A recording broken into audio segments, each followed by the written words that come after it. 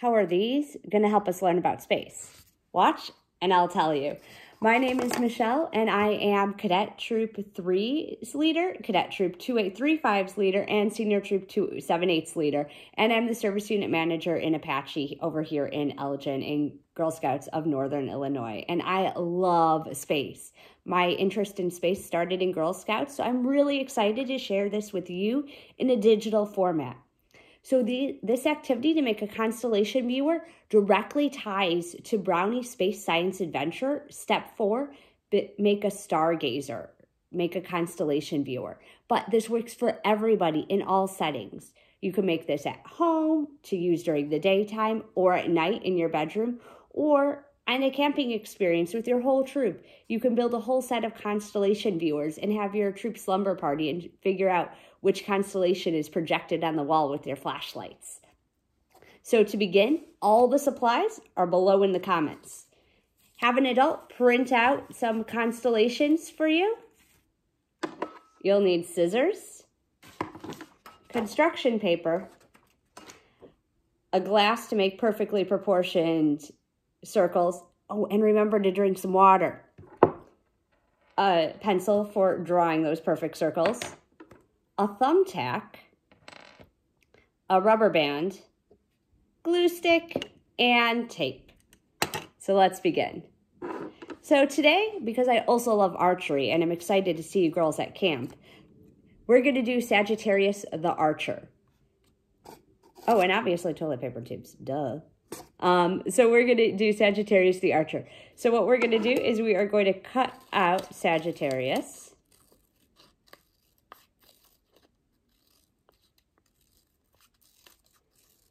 And don't throw away the name at the bottom because you want to remember which constellation you're looking at because this is a great way to help you identify the constellations that are out and about every night.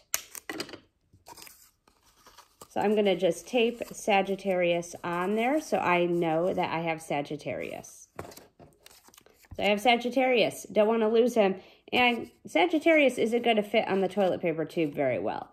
So what I'm going to do is use my cup, my paper, my pencil to draw a circle that I can then cut out. So you can use any color construction paper. You can use black, you can use white.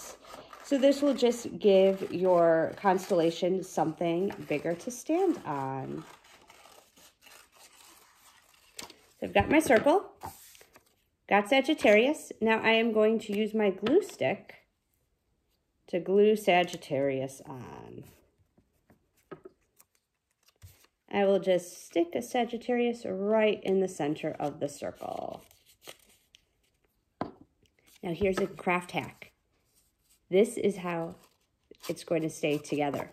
You're going to use your scissors and you are going to carefully cut to the white paper, but don't cut through the white paper. So you're kind of making little slits, almost like sun rays. You're going to go all the way around.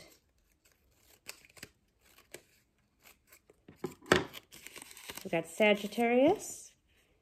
And now I'm going to take my rubber band and I'm going to use my rubber band to help put the blue paper down. So it's going to look just like this. But I'm not going to keep the rubber band on forever. The rubber band is just to be my guiding hands. And if it's a little tricky, ask a parent or a friend or a sibling to help you. Gonna take some tape. You don't need a lot of tape. I've got about this much per piece. I'm just gonna put tape down. And I'm gonna tape all the way around.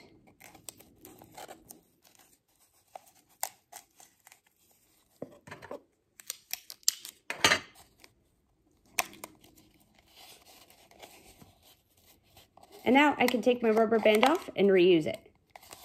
So now I have my constellation viewer for Sagittarius. So we could look at Sagittarius through the sun, but it's dark. How can I see Sagittarius? This is where your push pin comes in handy. So you're going to carefully take your push pin and push through all of the black holes.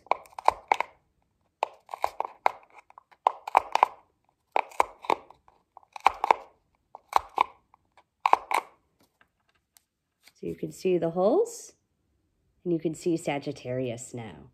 So it, Sagittarius looks beautiful in the light and tonight I can even see Sagittarius at my window. So have fun making these. You can make a whole collection of these and they fit great in a shoebox. So if you make this, drop a picture in the comments. I can't wait to see it. Bye.